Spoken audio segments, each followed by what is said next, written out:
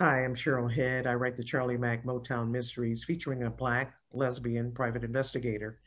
And the book I have to recommend to you today also features a Black lesbian sleuth, an amateur sleuth. And it's this book, The Lavender House Murder by Nikki Baker, book one in the Virginia Kelly Mysteries.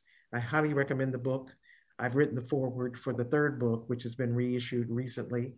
And you can find this book and all three books the San Francisco Public Library or your favorite independent bookstore. Thanks.